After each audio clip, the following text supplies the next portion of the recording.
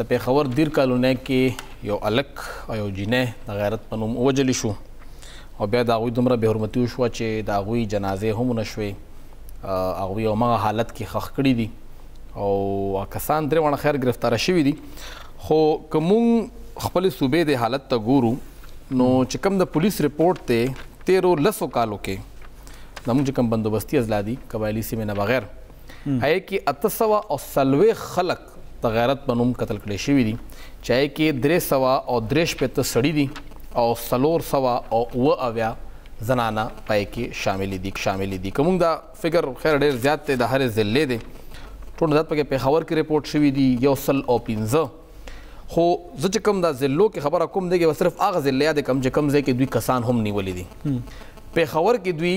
ایک سو پنځه چې کوم مړي شوي دي درې پنځوس زنانه او دوه پنځوس سړي هغې کې صرف درې کیسونو کې جرم ثابت شوی دی صرف درې چارسده کې یو هم ثابت نشو نوښار کې دوه شپېته خلک وژل شوي دي سړي او زنانه هغې کې څلورو باندې جرم ثابت شو صوابۍ کې شپږ اتیا وو هغې کې هم څلور کرک کې صرف په یو کس باندې کیس ثابت شو بډګرام کې په دوه کسانو لویر کوهستان کې په یو اپر کوهستان کې درې بنو کې هم صرف په یو کس باندې جرم ثابت شوی دی. شانګله کې په اته کسانو باندې ټولو نه زیات او بونیر کې هم اته کسان دي، لویر دیر کې شپږ دېرش، سوات کې دوه، اپر دیر کې اووه. اته سوه او څلوېښت خلک وژل کېږي په لس کالو کې او صرف پنځوس خلکو باندې جرم ثابتېږي.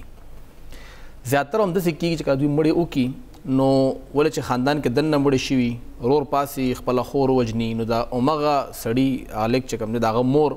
داوا وکي